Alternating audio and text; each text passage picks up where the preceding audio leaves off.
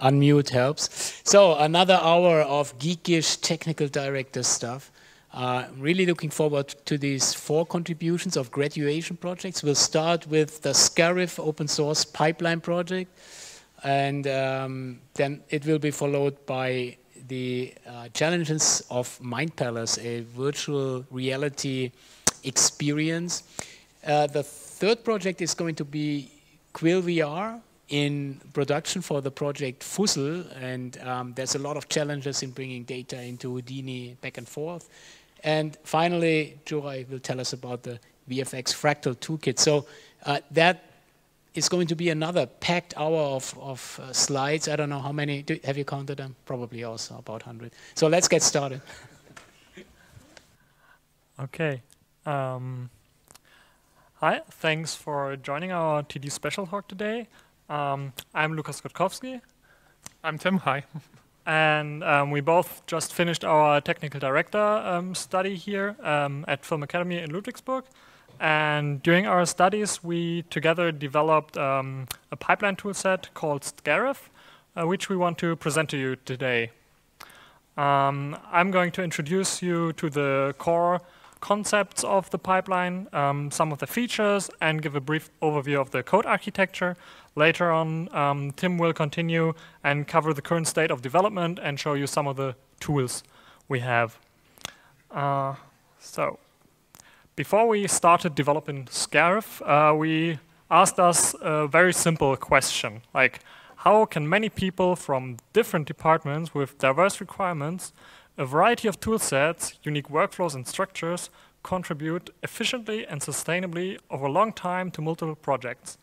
So uh, it turned out that this is not such an easy question we thought in the beginning, um, but we tackled it bit by bit.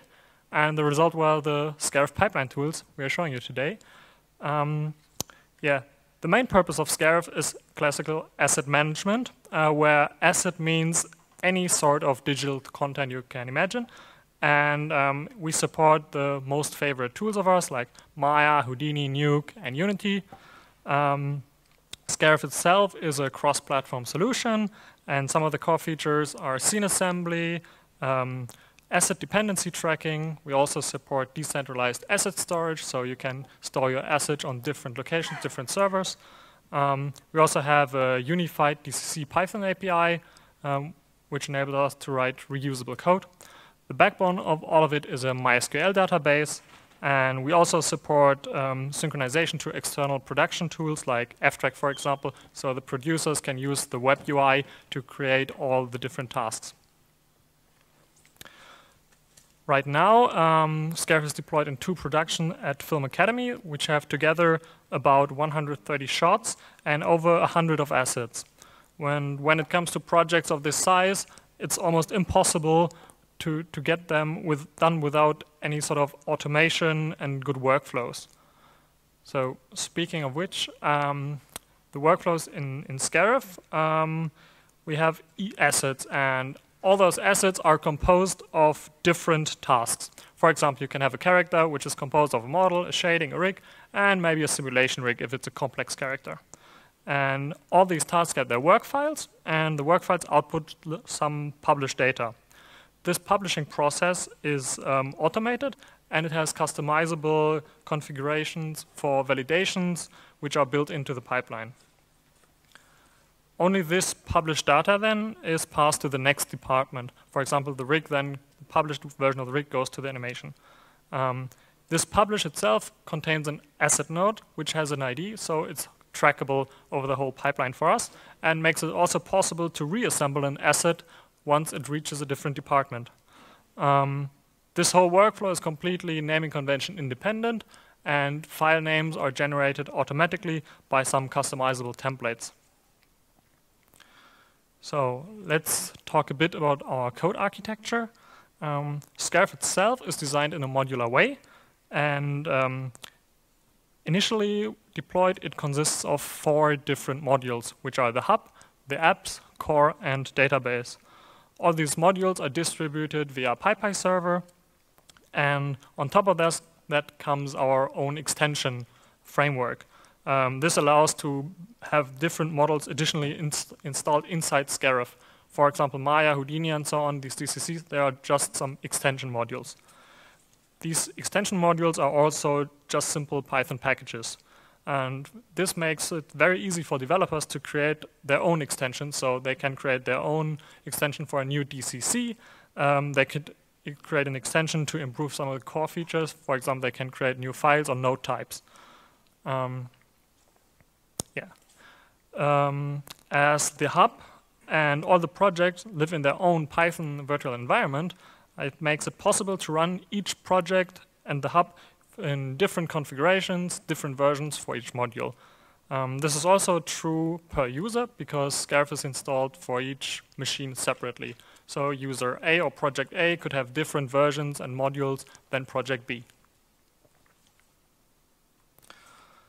Um, when it comes to interactions with DCCs, um, Scarif and or between DCCs and, and Scarif, um, like Maya and Houdini, the interaction happens on abstract base classes um, for most common operations. For example, scene loading is one command or node transformations. And um, this enables that we can just write the code once with a single command and have reusable code for different DCCs. For example, Maya or Houdini, we just use scene load as a command. And the implementations of it are loaded dynamically based on the, based on the host environment. And right now we provide a very good implementation for Maya and work in progress versions for Houdini and Nuke. So that's been Scarif in a nutshell from the concept side, and now Tim will continue with the state of development. Thank you, Lukas. So let's dive right in and what we actually have uh, right now. Okay, that's not working. All right, so um, when you begin with Scarif, the first thing you obviously have to do is set it up. So to differentiate ourselves a bit from other open source solutions, we tried to make it really simple to set up. Uh, speaking, uh, we have a lot of UIs for everything, starting even with the database setup, and then going into configuration, we have uh, UIs for stuff like user management and groups. Also the asset locations, so Lukas mentioned that different users can have uh, different asset locations depending on their needs. Maybe the drive is mapped differently, for example. Um, also, um, we have different app environments. So, for example, the rigging TD might need some extra plugin to load in their Maya setup. So you can define it right here. You have an interface for defining uh, environment variables and um, also um, other aspects of the application. Then we have our package manager, which is basically um, what you use to uh, manage your extensions, which Lukas mentioned. So everything is an extension you can install and uh, choose at your own um, liking. Um, the very core of Scarif is our hub. The hub is, so to say, the central entry point to everything Scarif. So from there you can launch all these manager applications I just showed you, and you can also launch here different uh, configurations of DCCs, such as Maya and Nuke. And you can also get your latest Scarif updates right there. Going on, um, we have one main widget um, that is kind of our universal tool. Uh, that is the project browser, as we call it, and it has uh, different views for different purposes. Here you can see the tree view, which uh, basically gives you a hierarchy view of your project, and you can create and manage categories, assets, shots, tasks, variations.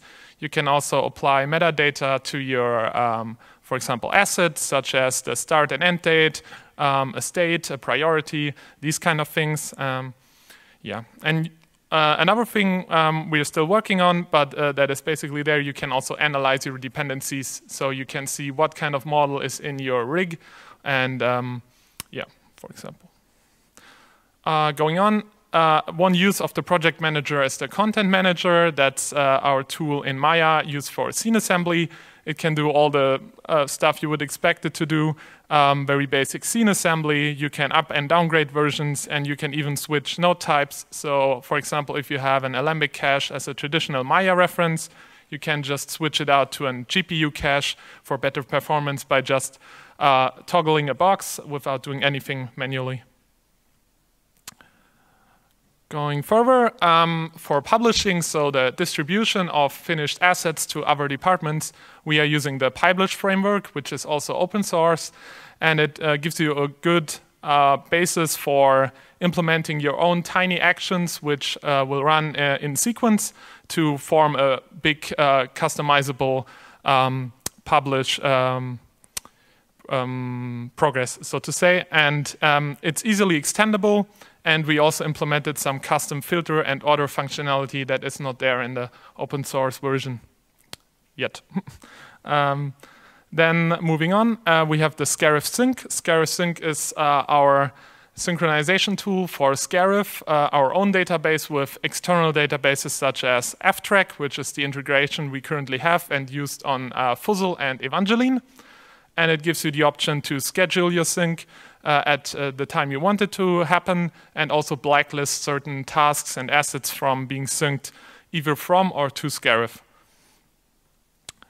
And also, uh, lastly, want to touch upon uh, one recent addition is the Scarif engine. This is our uh, approach of how to do asset management in game engines, which is a bit harder than you might expect because they're uh, quite different uh, in terms of their actual file management. So what we are doing is we translate the structure we have in Scarif and copy over things in a certain uh, naming convention and uh, adapt them essentially to work in Unity without you being constantly having to uh, reiterate on things to work. Um, and yeah, um, it's currently supporting Unity with Unreal as an option for the future. Speaking of the future, a couple more ideas. So we want to improve on our uh, Houdini and Nuke support um, and also look into another uh, and a couple of new topics such as a review pipeline based on RV, which also supports Python, and uh, an editorial pipeline based on Open Timeline IO, um, which we already looked into, Unreal integration I already mentioned, and also adopt more industry standards such as USD and Material X. Now they are becoming more um, of a hot topic. And obviously, everyone has to think about it Python 3. Which brings us to our announcement here, and that we will release our efforts as an open source um, project. It's planned for late June 2019. We need to do a bit more cleanup and documentation, so you guys will have fun with it. And it will be released on LGPL version 3. So keep in mind that link up there. Um, so what do you need to get started with Scarif? We are still based on Python 2.7, and basically that's all you need except for a MySQL database running somewhere. Um, we will have an online documentation, and if you want to contribute to Scarif, you can easily do that by reading the developer guide and send us a pull request, hopefully.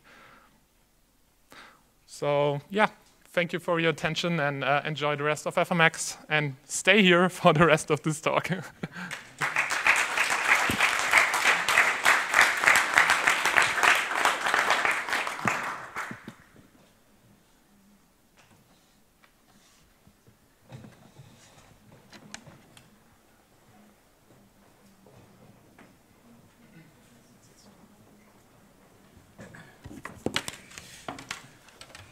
Hi, this is Nico, I'm Carl, and together with Dominic, who sits over there, we created Mind Palace. Um, and uh, we will talk now a bit about the technical challenges in the, our VR experience, Mind Palace. Um, Mind Palace is our graduation project from Film Academy. It is a real-time six degrees of freedom seated VR experience, and you can watch it here at FMX the whole time. So, yeah, that's the main picture. Uh, Mind Palace is a story about a broken relationship where the protagonist traps his boyfriend inside his own mind to show him his side of the relationship. In the beginning, we witness a fight in a dark but more naturalistic looking environment, and then we follow the protagonist inside his own mind, which has a completely different style and rule set. Nico will now talk about this more realistic part and how we brought the characters to life. Yeah, I'm gonna talk a little bit about our character workflow. So basically, how we get those nice actors to where they are in the engine. Um, so one of the first things we did was uh, that we took um, uh, some photogrammetry um, scans from our actors, and one of the reasons why I did it quite early is that it's it's quite complicated to uh, stage and develop a story in VR because you need some kind of reference looking through the goggles to be able to um, to to to, um, to see what's what's gonna be um, the final product.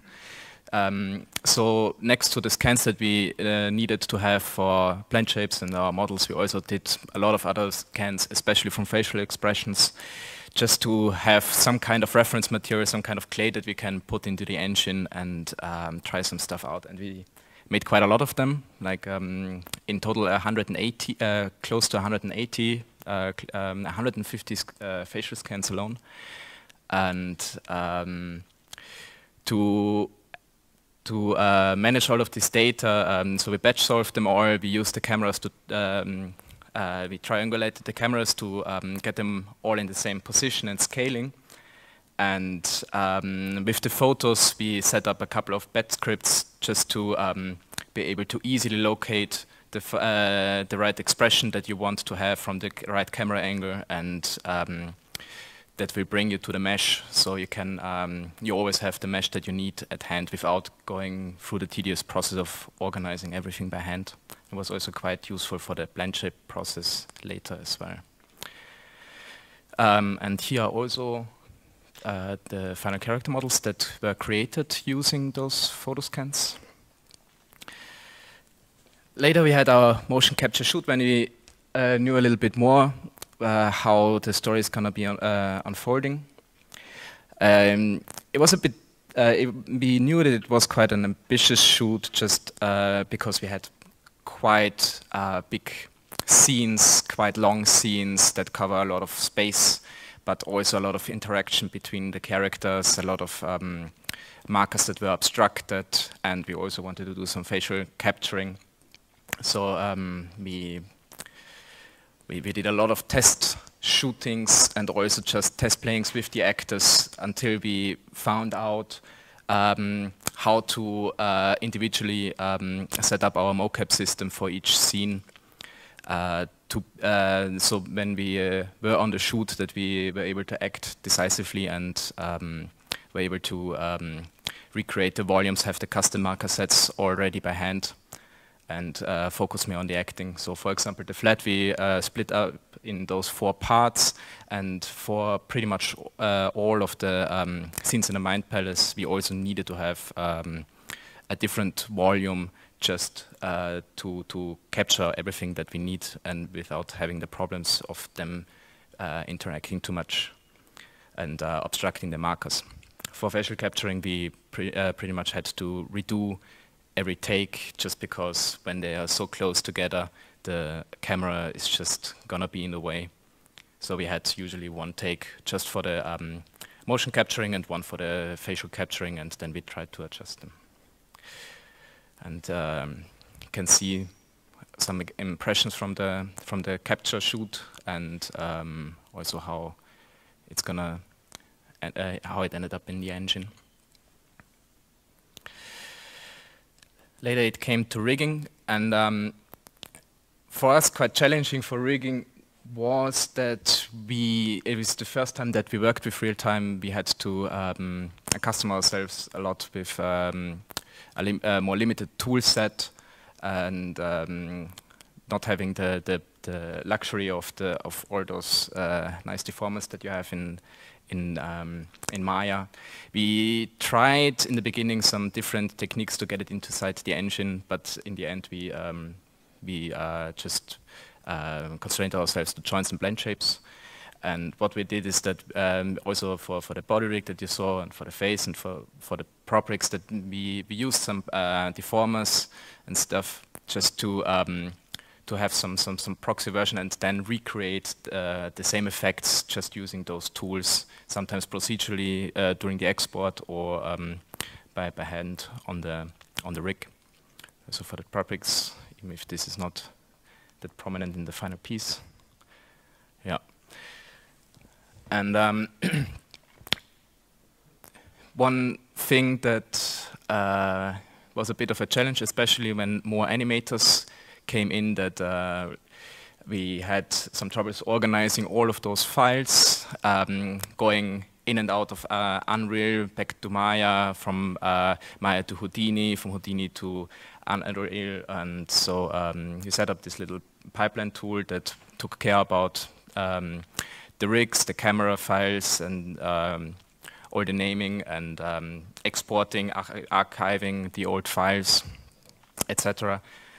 And um, and uh, especially like uh, for most characters, we had to uh, get out as alembics to get into Houdini uh, for the simulation part, but we also had them uh, uh, be given out for Unreal just to check if the animation is right and um, just to have everything clean and easy. And I mean, one thing that is quite nice with that, because then when, when you export it with, uh, with a script, you can also um, have more control of the export. So we decided to just completely rebuild all um, the whole rig during the export. Um, that gave more freedom for the um, during the rigging process in general, because you didn't have to uh, think too much about that and just um, procedurally um, exchanging all of the things, creating the hierarchies, creating the blend shapes new, and uh, also some of the deformers, um, just uh, to convert them to blend shapes and um,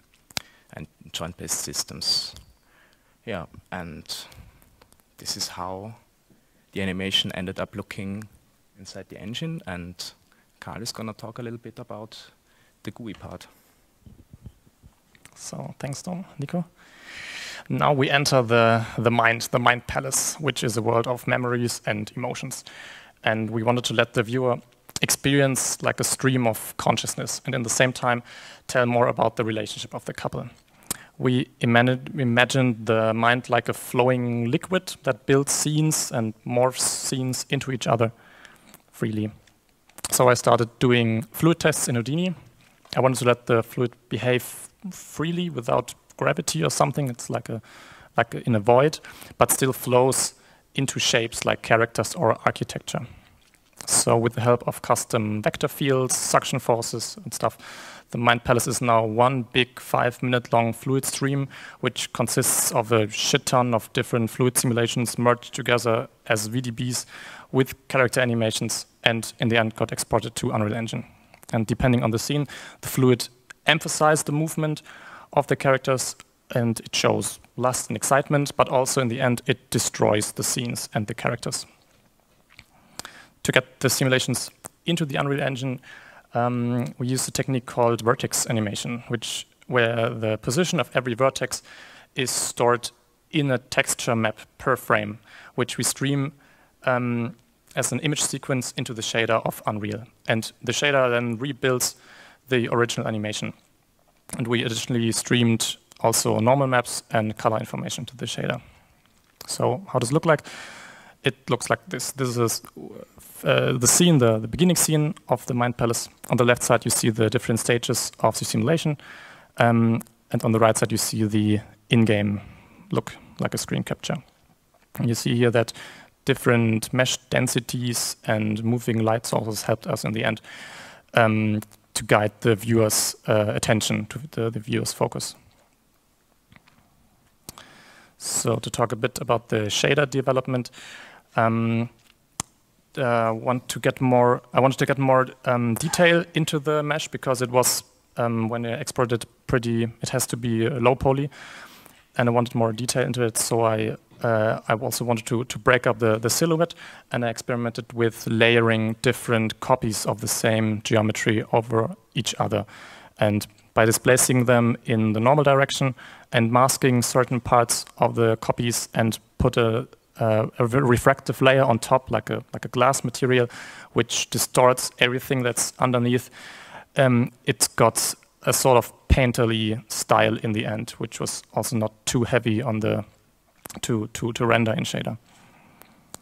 So that's another breakdown of uh, of the kiss of the two guys. Um, you see here that the shader adds more complexity to the scene the scene is harder to, to read because of those broken up silhouettes and broken up meshes. Um, and the idea was to let the viewer only understand a scene for a short time, and then it morphs into something else. So, like like a thought process, you only see it clearly for once, and then you your thought is already moving to something different. And another breakdown of a scene which comes more near the end of the experience, where the fluid behaves more aggressive. It destroys the character, and also the noise of the geometry is, is, is stronger and it underlines the brutality of the scene. So yeah, now I want to show um, a teaser of the of Mind Palace to get you into the mood to watch it later for yourself. Wake up now, my love. If only for this one time, please. Wake up.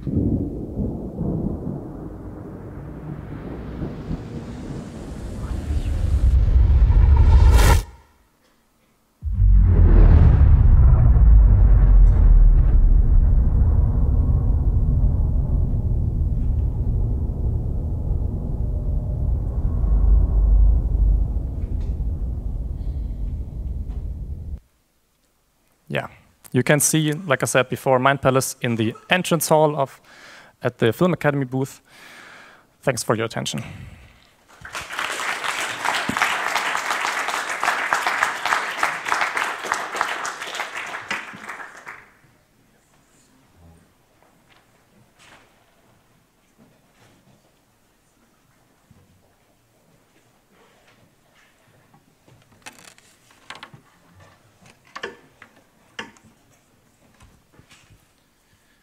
Hey everyone, um, we Team Fussel. Uh, next to me is Tim Lehr, he's the lead technical director, and I'm Alex Berweck, the director. We're gonna talk a little bit about Fussel and how we used Quill VR uh, as a production tool and how we integrated it in our pipeline. So what is Fussel? Fussel is our diploma project. It's a 3D animated short. It's uh, five minutes long, and we used Quill as the main asset creation tool, so all the backgrounds and most of the characters are created in Quill. What's the story about? It's about Fussel, a friendly blue monster who's going on an adventurous journey to find out what is at the end of the string. We brought you a little sneak peek so you can see what we're talking about.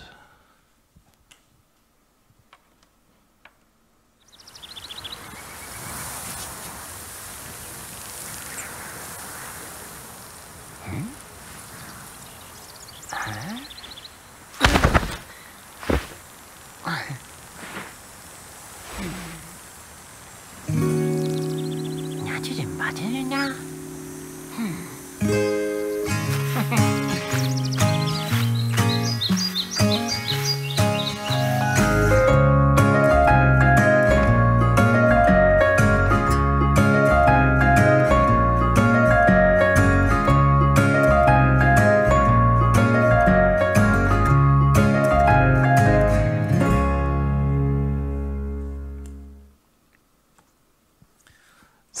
Let's start first. What is Quill? Quill is a virtual reality painting and animation software on the Oculus Rift. And you can paint strokes in front of you in 3D space. So how does that look like? Um, that's a short demonstration. On the left you can see me working with the goggles on and on the right you can see what I'm painting and what I'm seeing.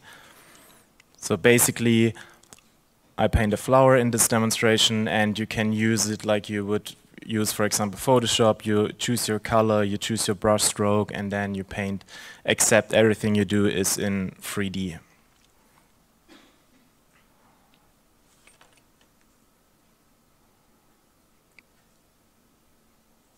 So why would we use Quill for this production?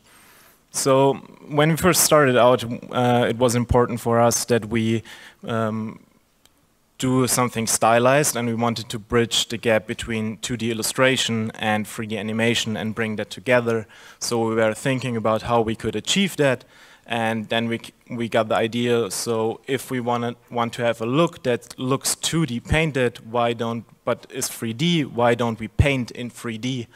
And so we came across Quill and did some tests and we liked it and so we tried if we could use it for production. What we later realized with choosing Quill is that we can be really efficient with it. Um, so our characters are going through all these different environments, which are 15 different environments, and we have a very small team. And basically, I painted all the environments in Quill, so we had to be as efficient as possible and also try to implement Quill into our pipeline so we don't have to do additional tasks that would um, cost us a lot of time. Also, we could do smaller animations in Quill for the backgrounds. For example, if we would add a little bit of wind or do some glow worms or some waterfalls, we could all do that right in Quill and then use that later. Uh, choosing Quill was a really good decision uh, in terms of style and also in terms of effic efficiency inside of the production. Um, the Quill team also helped us a lot. We bugged them with a lot of requests and uh, they were very helpful. Thank you for that. But uh, because of the short amount of production, we had some limitations with Quill. Um, we had to find our own solutions or do some workarounds. So for example, um, the first problem is um, it's a 3D animated short and you want to have full control over camera and the framing, um, but we couldn't import camera or animation inside of Quill, so we had to do a little bit of a workaround, with layouting 3D geometry traditionally in Maya, setting the camera and then bringing that geometry as a reference into Quill so we could um, paint it and make it uh, like we wanted to look like. As well, we have a lot of environments um, and with a lot of trees and flowers and you name it. So we had a very heavy load of geometry and we wanted to keep the scenes light. So we wanted to have instancing. And also, for example, if you want to animate a tree, we didn't want to animate all the trees, but we wanted to animate um, one tree and put that animation on all the already placed trees. So that gave us also a lot of flexibility, um, which we had to implement on our own. And also animation blending um, isn't inside of Quill. So for example, you want to um, animate a little bit wind on a flower. And then so basically what you do in Quill is you take the flower and then you do something like this but you need to match the first frame and the last frame to get a smooth loop, and it's very hard to do. And I was sitting there and trying to match it perfectly so it wouldn't jump. Um, but then we found another solution to um, implement that in our pipeline. So Tim will talk a little bit more of the uh, implementation in our pipeline and how we fix these problems. Thanks, Alex. So let's see what we came up with. So our solution to some of the uh, challenges we faced were our uh, own little tool set. We call it Pork. Um, basically what it is, it is a Quill exporter and a processing tool. And it has a very simple interface connected to Scarif, which we just presented, the pipeline toolset. So on the left, you see all your Scarif tasks related to Quill. And on the right, you have your uh, settings for that specific asset or shot. And uh, to do all the geometry processing, it runs Houdini in the background. Uh, here it was co-developed with our Houdini wizard Juraj, who's going to present next. And um, to keep the workflow as uh, free and um, uh, to uh, get all the advantages of Quill, uh, for Alex, we tried to apply as few constraints as possible on him. And um, so basically what are the key features here is obviously the exporting uh, of the Quill animation or Quill scene to Alembic. So that is done by uh, using the um, command line application the Quill team provides um, and then do some geometry cleanup, for example, flipping normals and more of the advanced stuff such as uh, geometry instancing, animation blending, and the smoothing of normals and colors which I will show you in a minute how that looks like. And um, once we had that asset, uh, asset all processed, we could directly have a look at it inside USD View, which is part of the Pixar USD open source um, project, which was really nice. So we didn't have to import it into Maya first or uh, any other DCC application for preview. So Let's give you a quick rundown on how we did things. So Alex already said we wanted to be as efficient as possible, but also keep the fun and fast workflow of Quill. So everything kind of starts in Quill here by creating the assets, do some secondary animation of the environment, or maybe even the small character. Um, do some set dressing there, uh, so everything basically is dressed in Quill. Then it goes through Park, um, Houdini running in the background doing the processing. So once we get uh, everything uh, processed, we put it into Scarif, and Scarif uh, is basically then the um, link to Maya, which is uh, what we use for lighting. So we had simple lighting on it for rim lights and these kind of things. And we rendered everything with Arnold uh, and a commercial tool called Multiverse uh, at 4K and 48 FPS. So with Multiverse, we could kind of keep the scenes very light and flexible and uh, make things uh, really robust, even if there was a lot of geometry. And then at the end, uh, we went through traditional compositing methods for additional 2D animation and um, yeah, uh, finishing up the look. So I will give you, give you a quick rundown on how these things look like in action. So here you can see Alex uh, um, scattering some clouds, um, doing the set dressing uh, in Quill. So this is what you see through the goggles. And basically, once he's uh, satisfied with the scene, he can have a final look at it, and then we go into Park. And then he just picks his task, um, sets up the exporter, what he wants to export. Once that is done, takes a few moments, uh, he can go through the settings, set up some layer settings, for example, um, the smoothing, add a comment, and then run the processing. And then he can hit the button and view the uh, final asset in USD view. Um, if everything is all right, we can go into Maya and use Scarif to import uh, the asset right away um, using Multiverse. So there it is uh, as a compound geometry, just one node, very light. So yeah, that's basically what it looks like. Um, so what does Pork do? Um, so some of the solutions we came up with, for example, on the left you can see some of the colors that are basically uh, a little bit pixelated um, because all of these strokes, so these individual rows are basically individual strokes. Um, so all of the ground planes, for example, are thousands of strokes, just repeated and then painted in Quill. So we applied some smoothing on it, and the same goes for the, uh, for example, for Fussel's fur, which is being smoothed, so the rim light in um, lighting is really nice and smooth as well uh, when we do it in compositing. Um, then comes the animations moving, which Alex already touched upon. So on the left, you can see it's a bit jumpy. So this whole character was modeled and animated in Quill. It's a background character, and it was really uh, fast to do, but you can see it jumps a bit. So the solution we came up with basically allowed us to make everything really smooth, uh, as you can see on the right for the final movie. Also for geometry instancing, so on the left you can see we basically animated just one of each plant and the other ones are scattered uh, statically or set dressed in Quill. So this is basically on the left what comes out of Quill.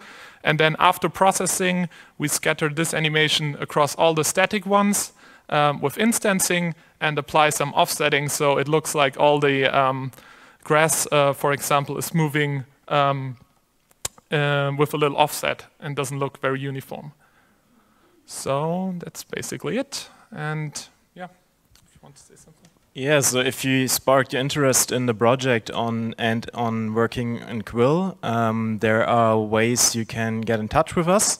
Um, one is we have a Quill live demo here at the FMX at the IP space area. It's if you come in the entrance, stairs up and on the left. There will be on Wednesday on 11.30 a.m., Thursday on 3.30 p.m., and you can also get in touch with us via email. And if you want to follow our film and see some making of and behind the scenes stuff, you can visit the Facebook page. Thank you.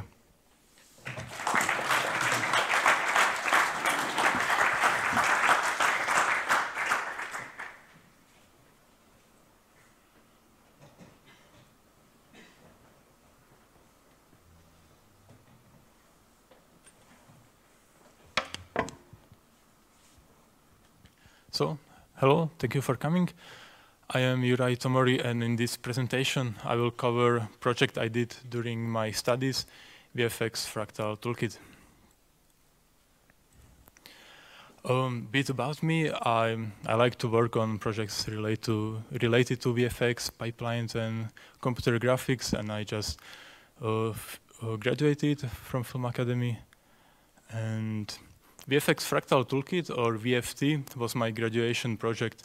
I presented it in the TD talk here last year when it was in its early stage, and now I will present how it progressed since then. My goal in this project was to explore fractal and procedural art and to implement it in VFX packages.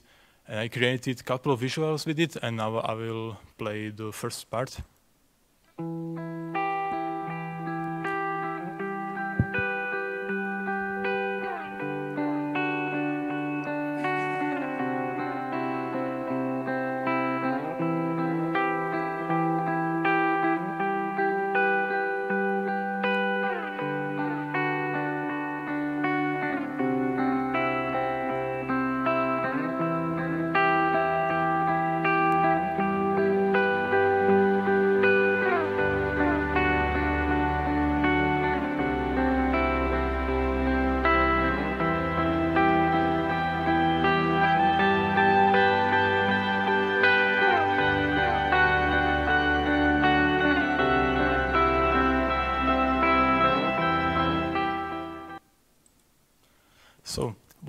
Uh, what is this project about?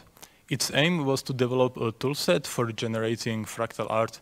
Currently, there are a couple of applications for generating fractal art, but they are not VFX friendly. They can generate very nice artwork, but it is tricky to get the results into VFX pipelines. On the other hand, we have VFX applications which are very good for animating, rendering, and compositing, but they lack pre-made tools for generating fractal art. So I realized I could generate fractals directly in VFX applications so that no hacks would be needed for post-processing or rendering them. On top of it, I would gain benefits of working in VFX applications, for example, having access to animation tools, different renderers, geometry processing, and so on. I will try to put my tool in context. Fractal art is no longer a hobby of only a small group of nerdy mathematicians. It is being used in VFX more and more, and studios have already implemented their in-house toolsets for handling it. So I wanted to do my own implementation where I could explore various techniques and it would be used, uh, it, it could be used by others directly or as a reference. And this topic pretty much covers the areas I'm interested in and wanted to play with. And below you can see main sources and references which I used. There are many techniques for generating fractals, and I played with a couple of them. For example, ray marching uh, implicit surfaces, dynamical systems, and subdivision surfaces. The main part of the toolset is implemented in Houdini, where I used mainly OpenCL kernels for GPU-accelerated calculations. Apart from Houdini, I also created tools for Arnold renderer in OpenShading language and for Nuke compositing package in Blink script. And I used Python to glue things together. Those tools are commonly used in VFX and gave me good performance. Implementations of fractals in various VFX packages share the same idea. Basically, we are iteratively applying a formula to a set uh, of points in a domain. The domain can be a complex image plane like in Nuke implementation, or a grid of voxels like in the case of Houdini or Arnold while we are applying the same formula iteratively, we are checking if the tested point remains bounded within a certain distance or diverges, shoots off to the infinity. The cooled part in, is the border between the contained and escaped points. It inherits fractal features, for example, infinite level of detail and self-similarity at different scales. Shape of the fractal is determined by used formula and values of its parameters. Fractal shapes are interesting because of their complexity. However, uh, all of this detail needs to be computed and stored somewhere, which takes time and space. We cannot just compute fractals every everywhere. We need to do it cleverly to compute only what is visible. For example, camera's point of view. Unfortunately, we cannot ray trace fractals directly because we don't know the exact intersections, but we can ray march them. We send a ray and test it along its way if it belongs to the fractal or not. This process can be optimized by taking less steps. We can do so by leveraging a distance estimate, which can be derived from some fractal functions. In this video, you can see sped up uh, screencast of working of me working in the Houdini integration. I implemented various fractal functions as different nodes. They result in different shapes of fractals. The nodes have a number of parameters which further modify their look. Fractal functions can be chained together to create new forms, and there are also nodes which modify coordinate space, for example, by adding repetition, noise distortion, or mirroring. I'm generating additional information which can be used for colors in shading or as emission, as you saw in the intro video. For optimization purposes, the fractal is generated from camera's point of view in frustum or volume that is visible from the camera. This gives adaptive level of detail and uh, computing power is spent only on areas which are directly visible to the camera. This allows for zoom-ins with the same computing time. It holds up until a certain threshold where we hit numerical precision issues. And there are multiple calculation modes implemented, which I will describe in the next slide. Based on the desired look and of the fractal and short requirements, there are multiple generation modes to choose from. Currently, there are five of them, each with, each with its own advantages and disadvantages in terms of how much information is computed and how is it stored in relation to the viewer another part of the VFT are strange attractors. The idea behind them is similar to fractals. We are following path of the tested point. This can look random, but after many iterations, the trajectories can produce patterns. Strange attractors are usually portrayed statically, but they can as well produce interesting animations, which are explored in the following animation.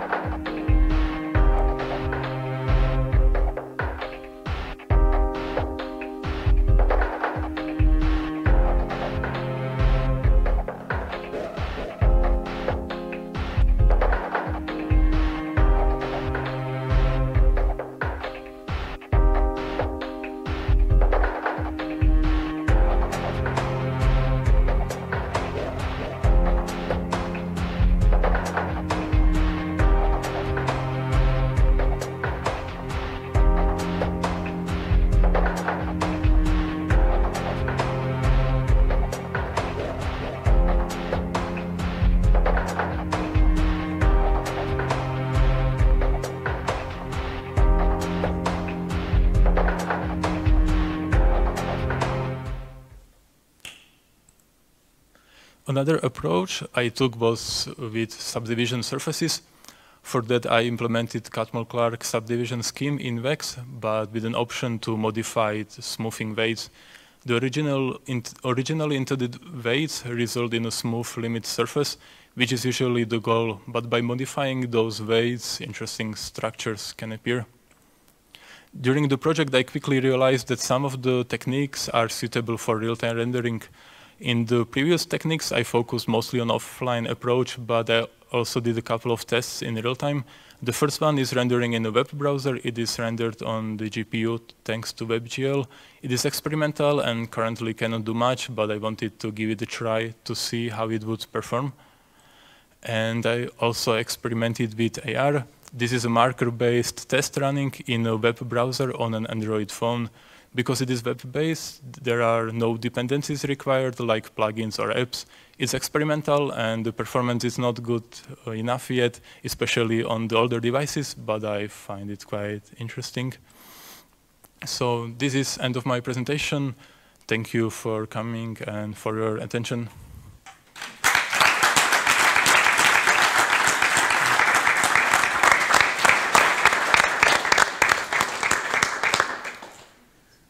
Whew.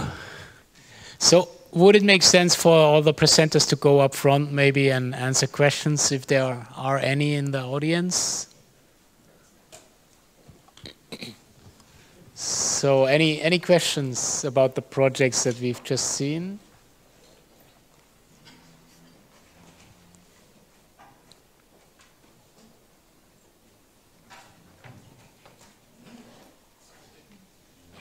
No? so you could have stayed where you were. No. Um, okay, so I'm gonna ask a question. Joy, what's happening with the um, Fractal Toolkit now? So um, mm, I will release it in the next days or weeks. It's now in.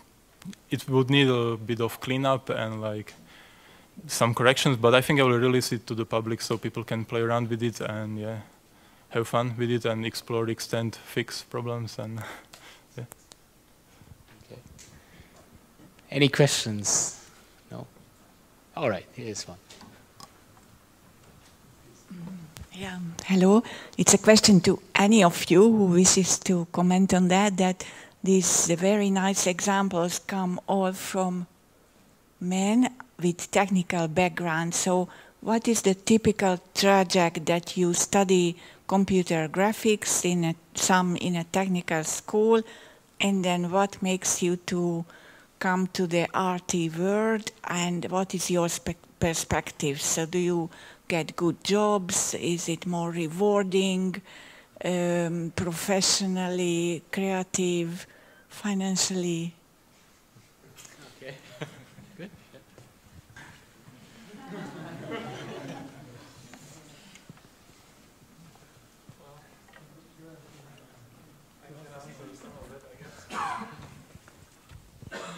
Uh, so this is kind of a personal answer, I guess, because I cannot speak for all of us. But for me, uh, I come from a computer science background, and at some point during the studies, um, so I was always very much into animation, and I'm a I'm a nerd, so to say. I'm a real big movie buff and all these kind of things. So it's always been in my DNA.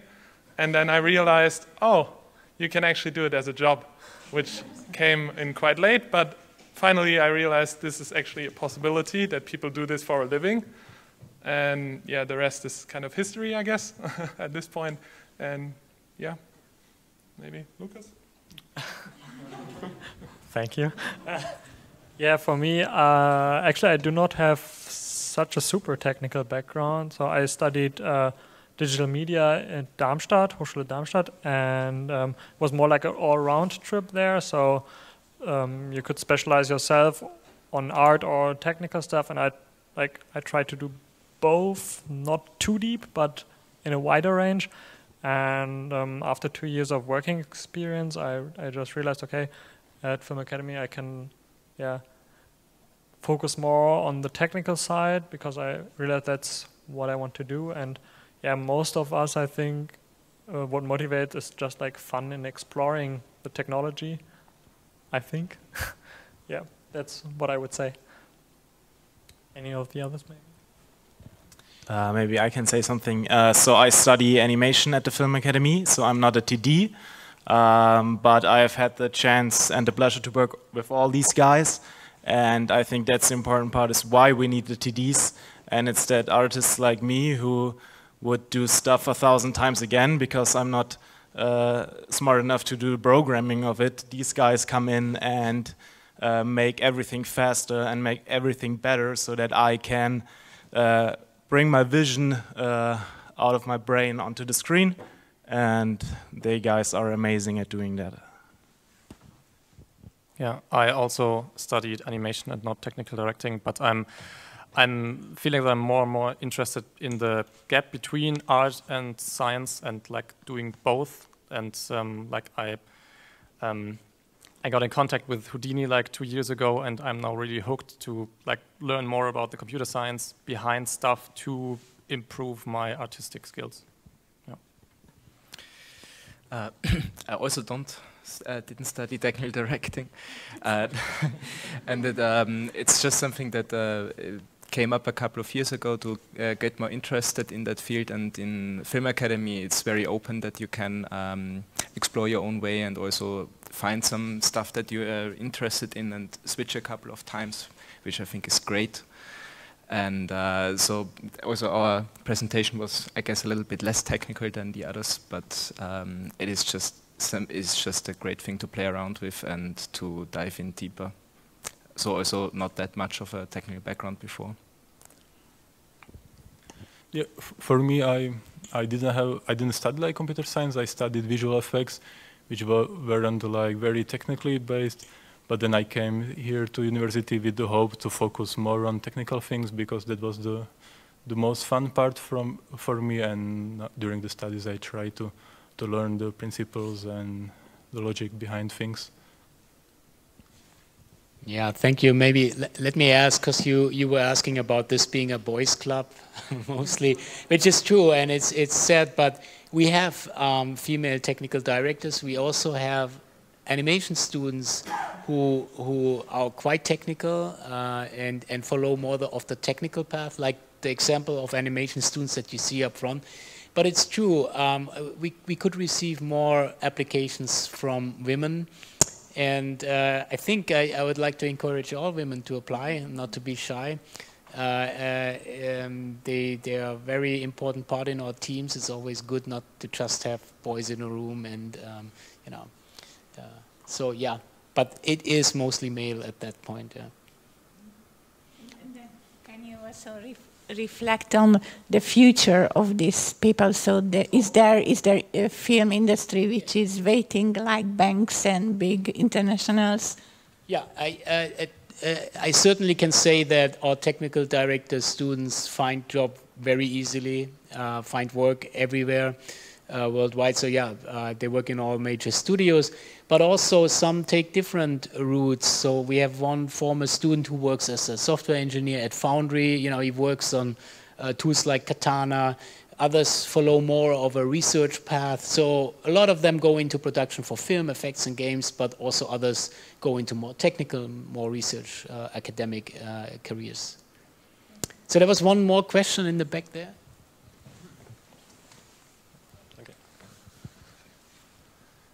Hi, so this question is for Tim and Lukas.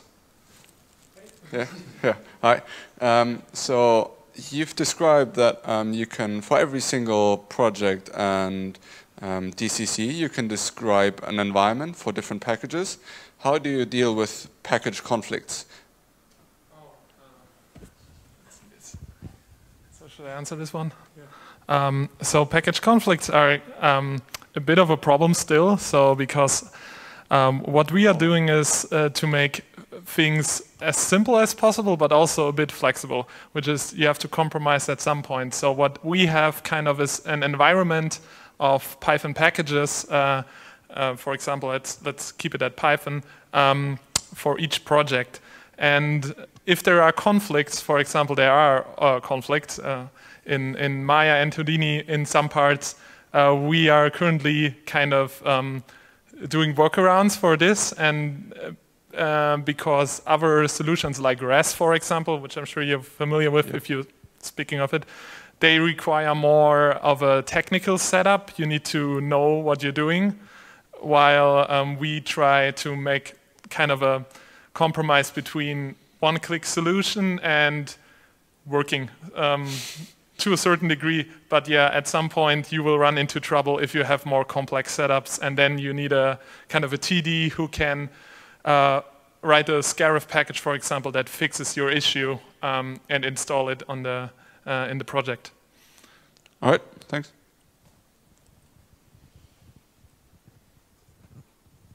Okay, yeah, I think we also uh, uh run out of time for the room. There's a uh, final question. Okay. Sorry for that. Uh, I would like to ask a question to the Quill team. Uh, ah. It's it's. Yeah. I just I was just wondering, uh, did you started to make the project and then think that Quill is the right tool to do that, or did you find a tool that it that looks like super cool and wanted to do a project with it? Okay, I think Alex can handle this. um, at the beginning, there was the idea to create something stylized and then we approached it to look at reference images and see what we liked and we thought how could we replicate that in 3D because we also wanted to do uh, to use um, the benefits of 3D animation and not painting everything by hand. Um, so we looked at different stuff. Um, we tried some different stuff, but everything was was okayish and was very mm, took a lot of work And then we came across Quill, and it was actually Tim who approached me and said, like, hey, you want to do a 2D painted look, but in 3D, why don't you paint it in 3D? And I was like, sure, why not? Let's try it. And then I did the first tests, and I really loved the approach of it and how it feels to paint uh, in virtual reality. And then I got back to Tim, and we discussed if it's possible to do a project and integrate Quill into the pipeline. And then that's where it all started, and uh, we got get going and try to uh, make it work. Cool. Well, thank you very much for your for sharing your work with us in this session, and thanks for your interest. And um, yeah, uh, let's give a round of applause for the speakers.